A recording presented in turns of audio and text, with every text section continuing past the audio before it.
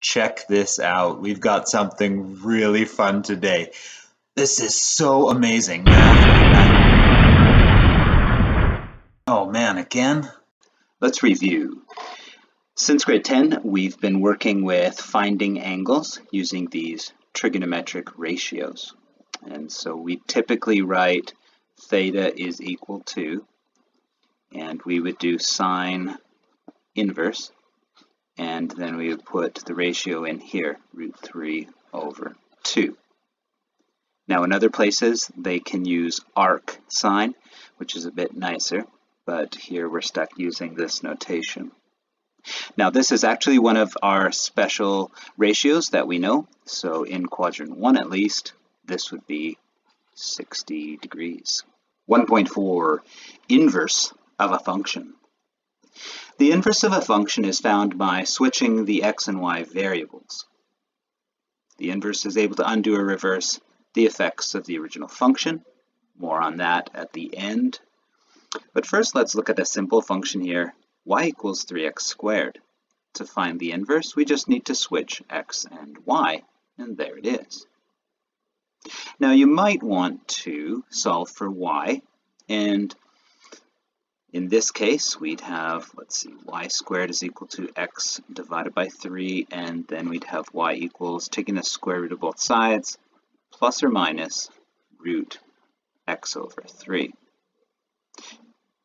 Now, warning, the inverse may or may not be a function. So we have to be aware of that. In this case, this is not a function, because if we put in a value for x, we're going to get two values for y or if we graphed this, it would fail the vertical line test. Let's try an example where we don't have the equation. We only have the graph here of f of x.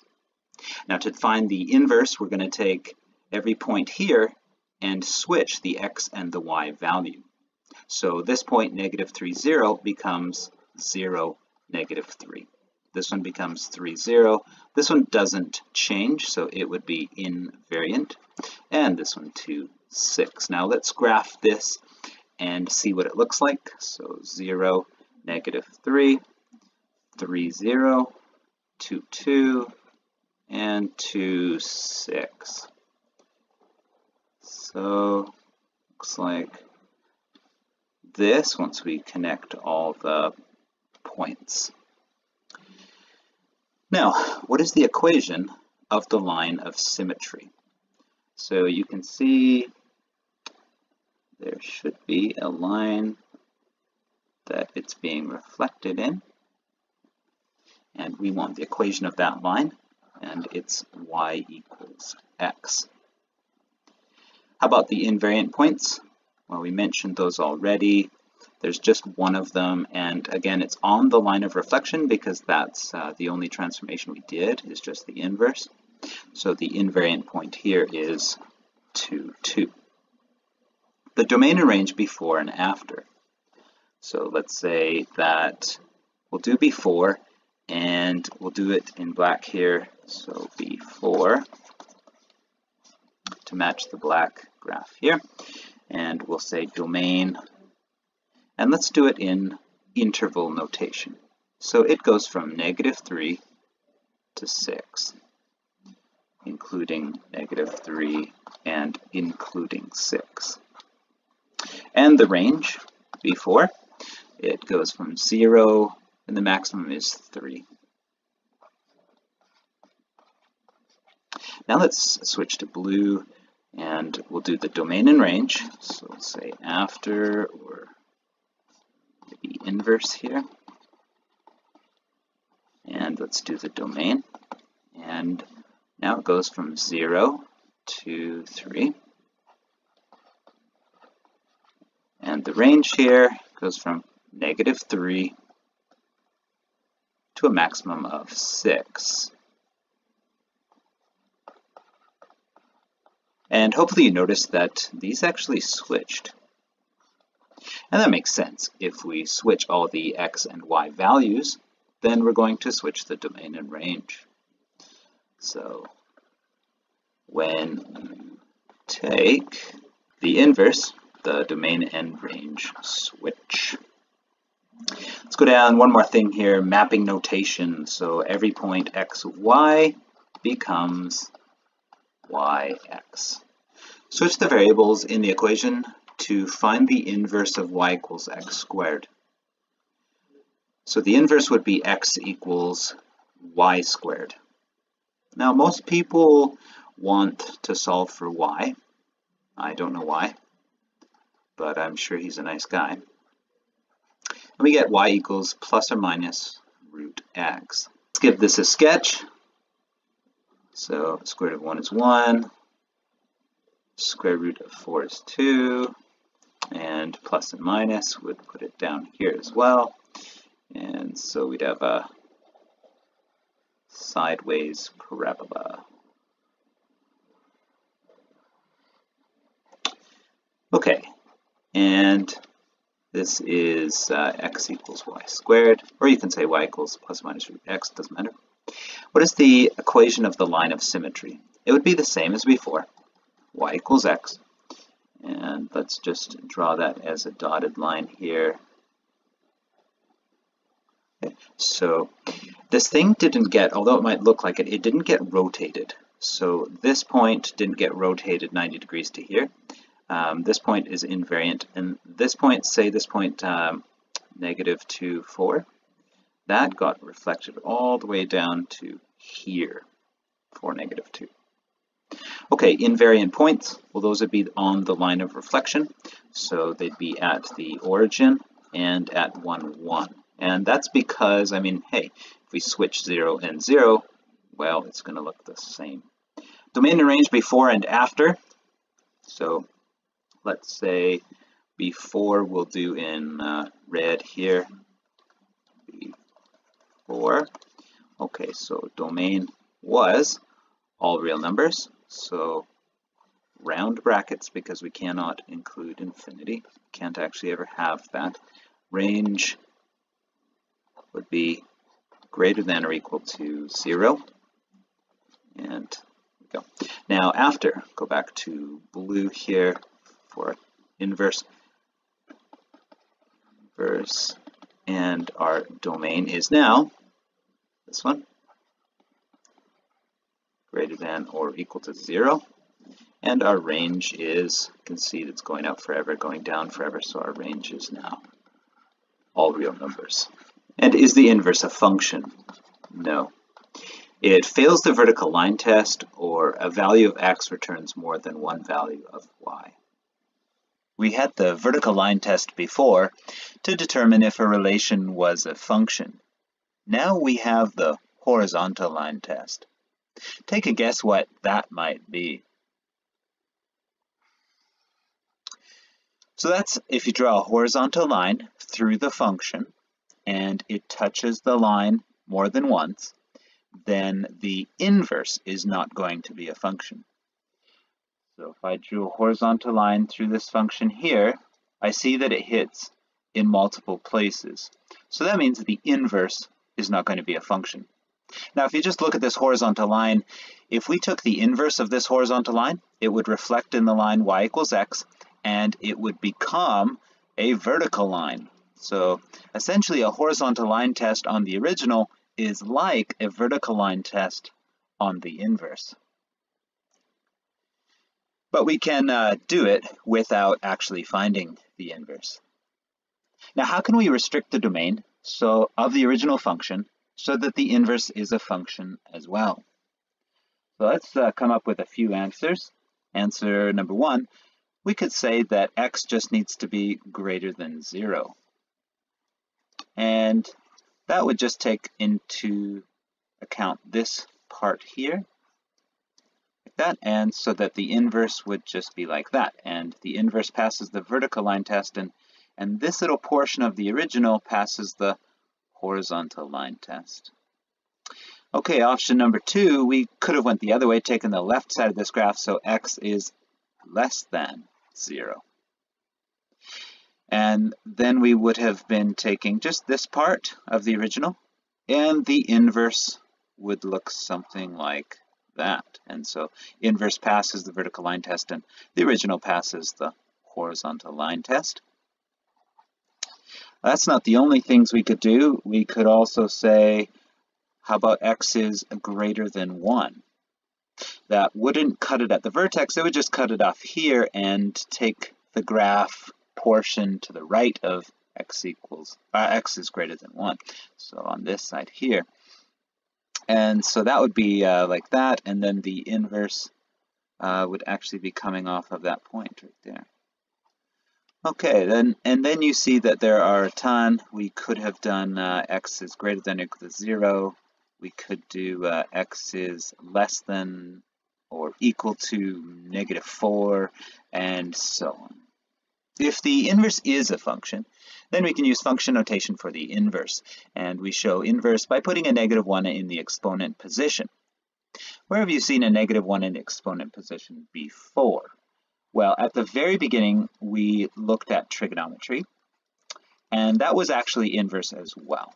So we had, uh, say, tan inverse okay, of something there. But you may have also seen it with reciprocals and just having it as an exponent. So how about uh, 5 times 10 to the negative 1? And this would be 5 times and 10 to the negative 1 means 1 over 10 and uh, 5 times 1 over 10 is 1 half. So this means reciprocal and this means inverse and you're going to have to determine what it means based on the context. Find and graph the inverse, find the mapping notation for this inverse as well. So first let's find the equation of the inverse here we would do that by switching x and y. So our inverse is x equals 4y minus 2. And let's rewrite this and solve it for y so that it will be easier to graph. So let's put plus 2 on both sides and switch the 4y onto this side because that's what we that's where we normally have it. So 4y equals, and now putting this on this side and then switching it, x plus 2. And we divide by 4 on both sides, so y equals 1 quarter x plus 2 divided by 4 is 1 half. So there's a nice equation in slope y-intercept form. Let's graph it. Looks like we've got a y-intercept of 1 half and a slope of 1 quarter, which means we go up 1 and over 4. So up 1 and over 1, 2, 3, 4. And now we can try to draw a line through that. I'll just put more points on here so then I can go. Draw it through those points. Okay, so that is the inverse. We can also use function notation because this is a function. So we could say f inverse is equal to this. And in order to use the function notation here, we need to have solved it for y. Let's find the mapping notation. Every point x, y becomes y, x. And maybe that would have been easier to graph it. Say we want this point here, 1, 2, becomes 2, 1. Uh, this point here, 0, negative 2, becomes negative 2, 0. So we could have done it that way as well. Will the inverse of this function be a function? So if we look at the horizontal line test and draw a horizontal line randomly anywhere here, anywhere except the vertex, we're going to hit this function twice. So no, it fails the horizontal line test. Now, since it failed the horizontal line test, part B here is restrict the domain of the original so that the inverse is a function. So we could do that in a number of ways. Let's do our domain in set builder notation. That would be with these set brackets. We'll declare our domain variable x is such that, and then we'll give our restriction. We just need to cut it off uh, either, you know, on the left or the right of the vertex would be the simplest. So I'll say x is greater than or equal to 0, and all real numbers would be fine.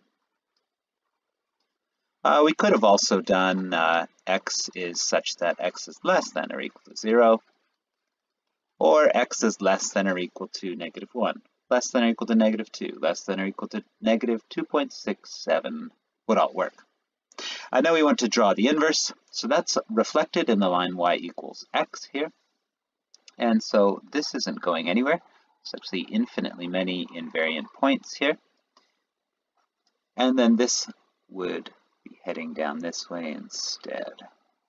So you can see it's definitely not a function. Now we can see if we tried the vertical line test on this, it wouldn't work. And let's label this graph as x equals the absolute value of y. At the very beginning of the lesson, we talked about how the inverse would undo or reverse the effects of any function. So using this f of x from a couple of slides ago, let's find the inverse again. So that would be when we switch x and y.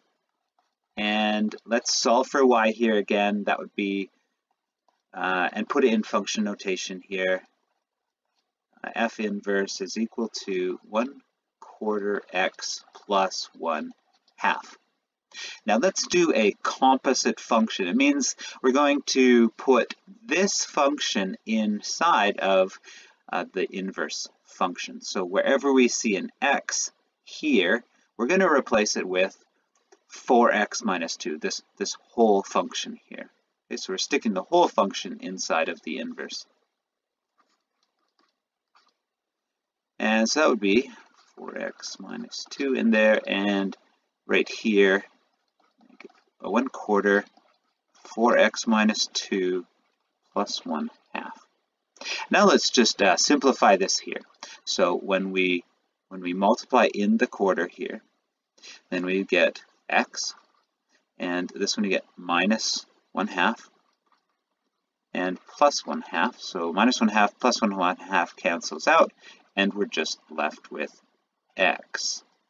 And so that's what I mean when the function's inverse undoes or reverses any effect of x. So they essentially cancel out and you're just left with x.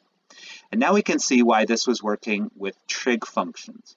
Normally we wouldn't write it, but if you were trying to solve a trig function like the one we had at the beginning, really you do sine inverse on both sides. And the sine inverse and the sine cancel. And all you're left with is theta. And on this side, you get your answer.